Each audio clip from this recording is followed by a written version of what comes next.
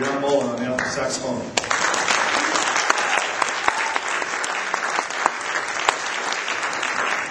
I'm going to close with a Lenny Niehaus tune, and this is called Some Like a Rooster.